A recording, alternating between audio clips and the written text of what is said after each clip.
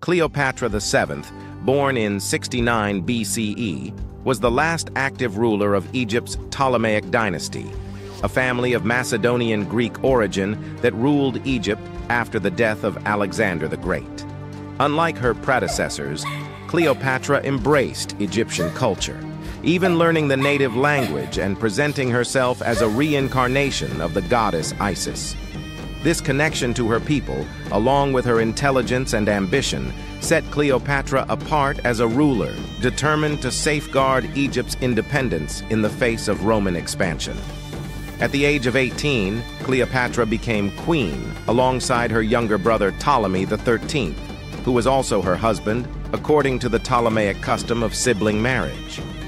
However, Cleopatra's ambition to rule independently led to conflict between the two. Eventually, she was exiled by her brother's advisors and fled to Syria. Cleopatra's opportunity to regain power came in 48 BCE when Julius Caesar arrived in Egypt, pursuing his Roman rival Pompey. Cleopatra famously sought Caesar's favor, allegedly smuggling herself into his quarters wrapped in a carpet. The meeting sparked both a romantic and political alliance. With Caesar's military support, Cleopatra defeated Ptolemy III's forces and was restored as queen, now co-ruling with another younger brother, Ptolemy XIV. She bore Caesar a son, Caesarion, and traveled to Rome, where her presence caused a stir in the political circles of the Republic.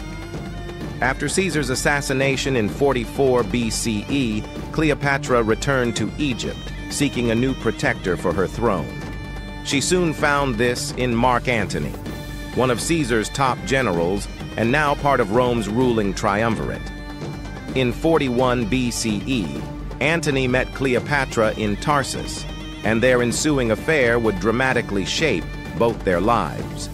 Cleopatra and Antony formed a powerful alliance, bolstered by their children, twins Alexander Helios and Cleopatra Selene, and a younger son, Ptolemy Philadelphus, However, this relationship incited the anger of Octavian, Caesar's heir, who saw Cleopatra as a threat to Roman interests.